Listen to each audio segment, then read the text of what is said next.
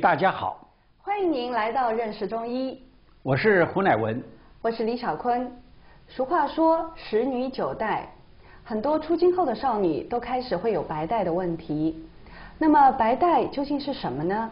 白带不正常会带来哪些困扰呢？在今天的节目中，我们就来为大家谈一谈这个问题。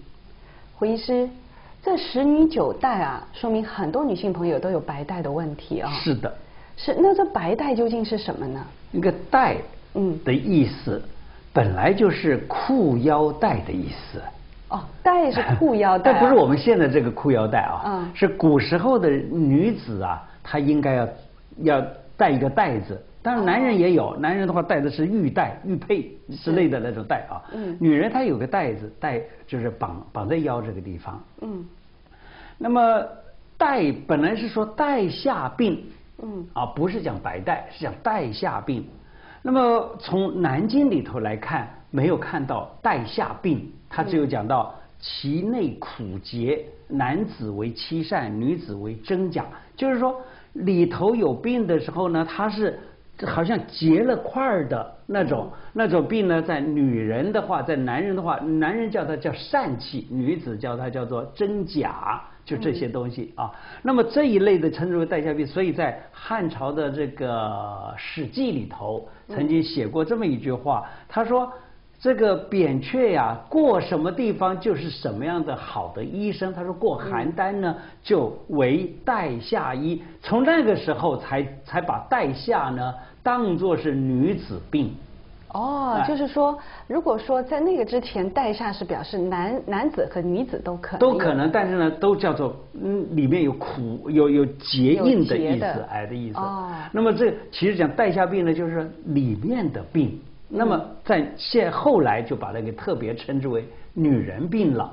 嗯。那女人病是不是都是叫带下病呢？不是的，但是很多的病都会用白带这种方式来表现。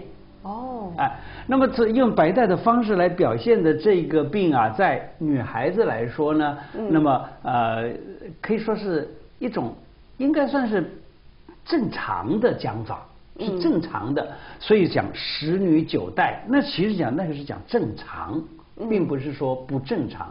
是，可是呢，有的时候带下会有臭味儿，或者说是各种颜色。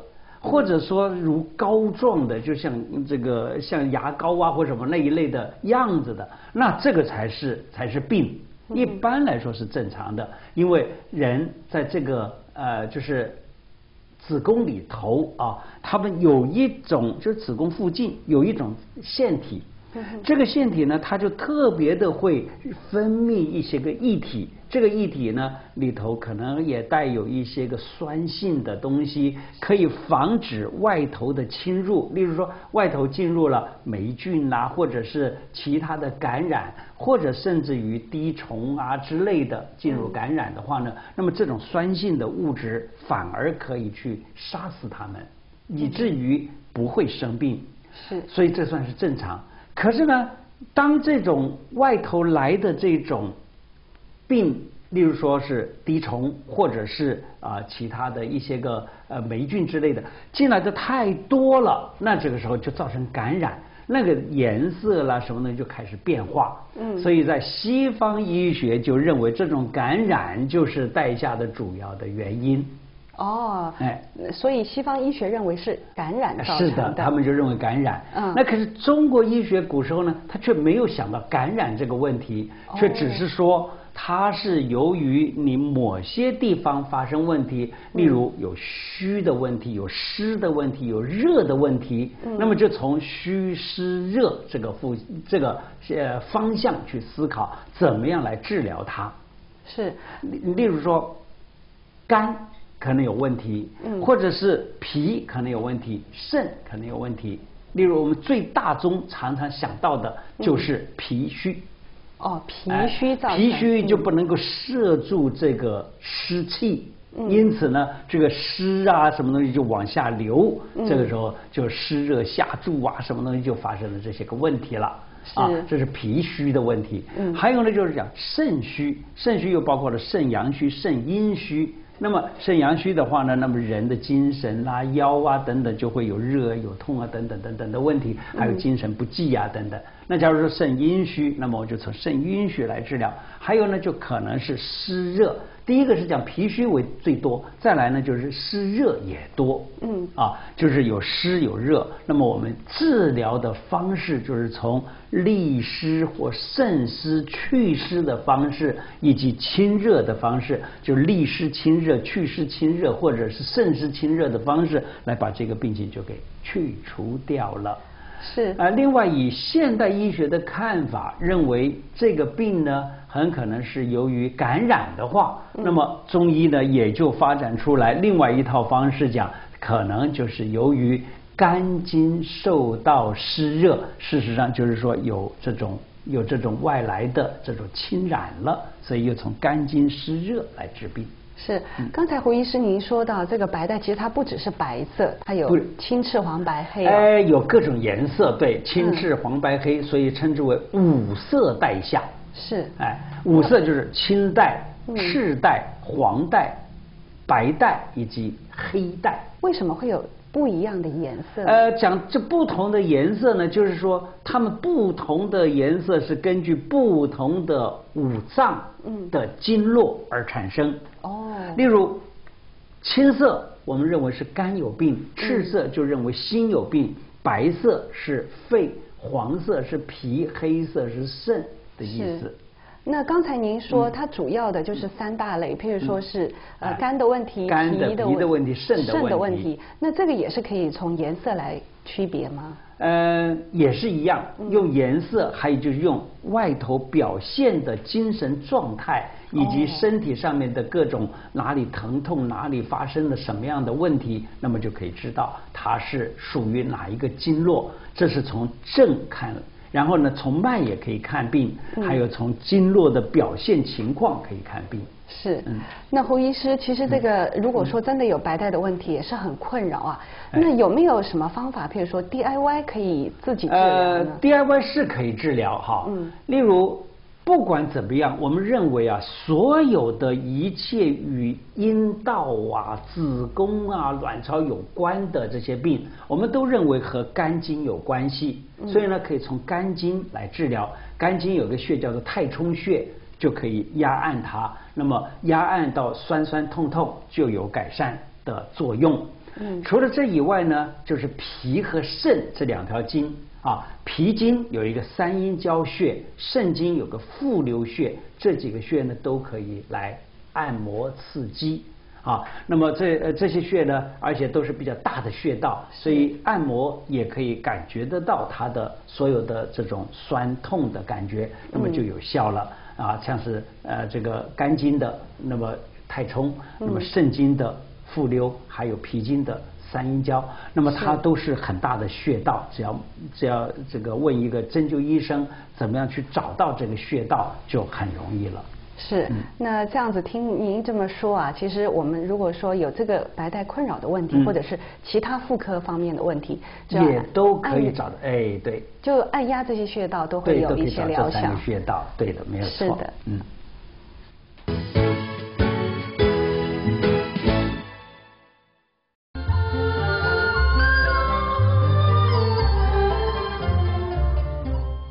在接下来的节目中，我们继续为大家介绍跟海有关的穴道——气海。胡医师，这个气海啊，好像跟海有关哈。这海在这个穴道里面是什么意思呢？海就是所有的河川都聚集到它那里去，哦，所有的水都流到它那里去。哦，所以呢，只要是与海有关的穴道，嗯，大概的意思就是说，所有的水，也就是。经络的气，经络的血都往那边汇聚，是就这个意思。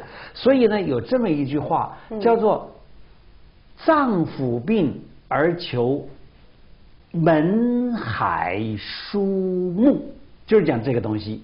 是讲所有的脏腑的毛病，你都去找门、找海、找疏、找木这几个穴道。是那海穴就是这个意思。嗯，跟脏腑的病就找。哎，与脏腑有关的病。嗯。可是气海它确实讲气的病。嗯。只要所有的气的病都找他，就好像血海，所有的血的病你都找他。一样的意思。您这么一说啊，因为中医里面好像气血气血在中医里面很重视这两样。是的，是的。那气海跟血海有关系吗？呃，刚刚讲的就是气跟血它有关系，因为中医就是讲气血嘛。那讲所有血的病就找血海，所有气的病找气海，这是绝对没有错。可是呢，气海这个气啊，还是元气的气。哦，元气。就是元气之海，所以呢。在我们运用上面，却把它拿来治治疗这种人啊，没有元气、没有精神、精神不好的时候使用它。哦，所以它可以提神呢。哎，对，可以提神。除了这以外呢，就是你的脾气不好的时候呢，嗯，所有脾气不好，就是说会泻肚子啦，会呕吐啦等等，这是脾气有问题了。啊，是脾的 气，不是你们讲发脾气 那发脾气，是是脾的气有有问题了，那也可以找气海。哦，同样的，因为是元气呢，元气又可以引申成为什么？与肾有关系的，所以肾的毛病，例如前阴病啊等等，都可以用它来治疗。而且它是任脉的穴道，嗯，所以呢，可以治任脉的很多的病情。哦，这要任脉经过的地方啊，我们有奇经八脉嘛。嗯，奇经八脉，这个任脉呢，就是前面叫任脉，任于前或任于阴，督脉督于后或督于阳。啊，就是一个是督率阳的，一个是任于前的，而且任呢又通妊娠的妊，也就是怀孕的意思。所以呢，与怀孕有关的所有的病都可以找。这个任脉，嗯可是气海这个穴呢，就是讲元气之海。元气之海。那么气海它在什么地方呢？它在肚脐的下方。那么肚脐下方这个地方呢，我们在修炼的人都认为肚脐下方这个地方就是叫做丹田。哦。那这个丹田呢，古人就认为有两个地方可能都叫做丹田，因为古人他修炼他不知道他。有的人是觉得在这里，有的人觉得在那个地方。那觉得在气海这个地方的话呢，他就说气海是丹田。他说是在这个丹呃在关元的地方呢，就是关元是丹田，也就是在这一块区域就是丹田。是。那如果说要取穴的话，要怎么找？气海是在肚脐，肚脐又叫做神阙穴。嗯。就神阙穴下一寸半叫做气海。一寸半。对。嗯。啊。那么一寸半不是我们一般所讲的一寸的那个一寸半的那个概念。哦，还不同吗？还不同。我们一般所讲的一寸是讲二点五四公分，叫做一寸。但是在人呢，它不是的，人身上是不是那么绝对的？是我们中医古时候的这种这种看法是非常科学的。嗯，它是人呢，你有人有个高的，有个低的。嗯，啊，有大人有小孩，有男人有女人，他们的寸关尺不，这个他的这个寸呐，就是一寸两寸的这个寸呢，它根本就不是那回事儿。就好像我们量这个脉寸关尺的这个寸，它的位置都不是每个人完全一样的。哦，是因为每个人的体型、身高不一样。是的，是的。那么这个地方讲的一寸呢，是讲我们人体的一寸。嗯。人体的一寸怎么量呢？男人跟女人又不一样。哦。男人是用左手，女人用右手，都用中指啊，把它卷曲起来。嗯。中指在卷曲的时候呢，在这个上头可以看得到有有个横纹。嗯。啊，发这个横纹的顶端所。所量出来的长度，我们称之为一寸。嗯，男人用左边，女人用右边，而且呢，个儿高的他的这个寸呢就长，个矮的他的这个寸就短，是。用这样的方式来量，这是相对的寸。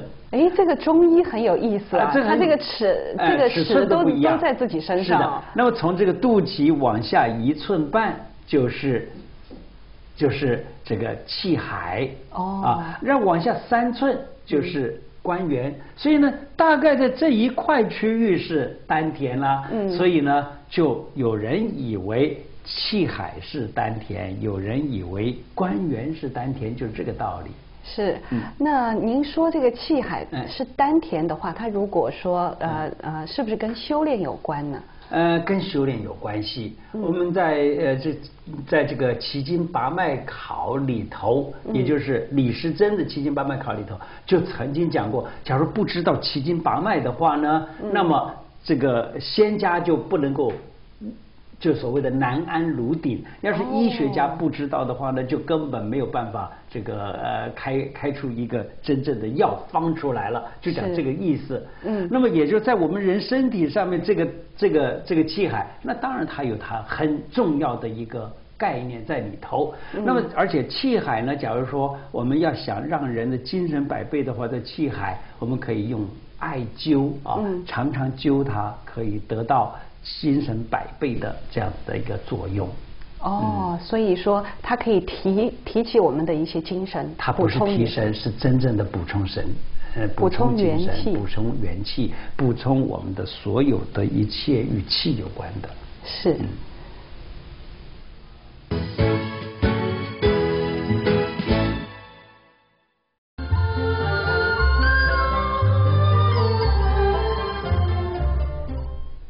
在今天的自解中医节目中，我们要为大家介绍脾脏的脾。胡医师，这个我们五脏六腑中的这个脾脏的脾啊，它在中医里面古时候的字是怎么解释它的呢？脾呀，嗯，它古时候的解释方法啊，嗯，就是说对于这个脾字，它是用肉啊，肉加一个卑贱的卑。那么肉是什么呢？肉先想想看，肉就是一块肉，这是一块很大块的肉的意思。嗯，啊，所以皮也是一块很大块的肉。哦，很大块的肉，人体中。所以呢，皮这个字儿，它就是皮用肉再加上一个卑贱的卑字。嗯，那么来当做皮字。皮它主要的作用，在中医的看法就是消化。嗯，消化什么东西呢？就是所有的食物进到了胃，在进入十二指肠的时候呢，那么就要经过消化液来把它给消化。那么中医古时候不认为脾脏。的作用只是现在医学所讲的脾脏。嗯，他认为脾呢是整个的一个消化系统，这个消化系统包括了酵素啦，包括了吸收啦，包括了所有这些东西。那么，这所以古时候的脾脏的脾字，它怎么解释呢？它是脾由肉加卑，而这个卑字呢，就写的是卑者贱也。为什么会叫贱？是卑贱的意思不是。见就是他的工作范围是比较低层次的工作范围，他的工作范围是直视的，就是做事情的。啊，具体做事情不是当官的。哎，他不是做官的，他是具体做事的。嗯。那这个贱字儿也不要把它给当做卑贱呐什么东西来解释。嗯。贱其实是小的意思。哦，是小。你看啊，我们中国字有很多的字啊，都有这个贱的右边那个站字。是。那什么意思呢？你看钱。嗯，金钱的钱呢，它右边是这样子，就是表示很少很少的金子，很少很少的钱，就叫做钱。哦，所以你家财万贯，你不会叫家钱万贯。嗯，就这是财呀。啊，那是财。哎，那跟这个贱就是钱的话呢，是太少了。嗯，你看客栈的栈是客栈的栈呢，客栈绝不是大旅馆，是小旅馆。哦，有道理。还有呢，像是我们喝酒用的那个小杯子，它是上面一个呃一盏，那个上面那个盏”像一个皿字，就是很少很少的意思。就是小杯子哎，对，所以这个贱字呢，它是小的意思，是低等的意思。所谓低等呢，并不是说不好，就是说比较起来做具体做事的那个。叫做剑，而这个剑字啊，它又从什么呢？又是从甲字再加上一个右字，甲呢是人头的意思，是甲哦，就是人的头。那么甲下头加一个什么？加一个左手的左，这这个字念左是左手的意思，是好，那就左边的手，左边的手，那就是什么意思呢？因为我们中国人的想法是右边是重。左边是轻，右边是大；左边是小，右边是高；左边是低，所以右重而左卑。是。所以呢，卑这个字儿的底下是一个左手的意思，是个左。然后呢，这个卑字儿啊，卑字，因为它是具体做事的，那么它加一个肉呢，就变成了具体做事，做什么？做消化工作的。哦，他是做消化工作的。他把所有我们吃进去的东西啊，他得把它给消化下，消化成为比较小的分子，然后呢才能够被吸收了。嗯。所以脾它主消化。脾又主湿，所以所有的湿气呀被它管着。嗯，啊，被它管着。脾呢又在中央。嗯。脾主中央，然后呢分散它所有的精气送给肝心肺肾。他把他把所聚集积聚聚集起来啊，积聚起来的营养成分什么东西，那么他因为把它消化了以后，这些营养成分呢送给肝，送给心，送给。肺送给肾，那么所以呢，五脏之中啊，脾居其中，然后呢，分散所有的精气给了其他四脏。哦，所以他是在位置上是算中间。在中间，嗯，然后呢，他把所有的好的东西都送给人家。那好的东西拿来都送给人家，当然他看起来好像是比较。比较下头，但实际上他才最伟大。为什么？把所有的爱都给了别人嘛。哦。所有的好东西都给了别人嘛。对。所以，所以，所以，所谓的贱，并不是卑贱，并不是不好。嗯。只是他比较起来更更愿意让自己变小一点。愿意付出。哎，对。所以这个脾的脾又跟胃相表里。嗯。脾胃脾胃，所以呢。脾它实际工作的是胃，所以呢，胃主受纳，把所有的食物先放在胃里头来消化一下，然后再送到十二指肠等等等地方去，让它再消化吸收。那这个脾呢，就是管这件事儿。胡医师，这个脾为什么又叫土脏呢？是这样的啊，嗯，肝、心、脾、肺、肾各属于一个五行。哦，肝是木，嗯，火。跟心有关，那么脾呢是跟土有关，肺跟金有关，肾跟水有关。实际上呢，我前面已经讲过的，就是肝、心、肺、肾在四方，而中央为土。嗯，那么所以脾就在中央，就讲这个意思。那么脾呢，它又跟胃有关系，叫做脾胃，脾胃啊，脾跟胃它是都是消化系统消化的一个。有关的一个系统，那么这，所以我们吃进去的东西先纳入于胃，然后由脾的功能来把它消化，然后呢，这个消化的这些东西再灌溉给其他的脏器，所以其他的脏器都能够获得啊脾所消化的一切的那些所谓的精气。所以脾在正中央，它把它的养分呐，就输送到四面八方。哎，是的，是的，是这个意思。哎，对，所以称它为土脏。哦，原来是这样的。是的。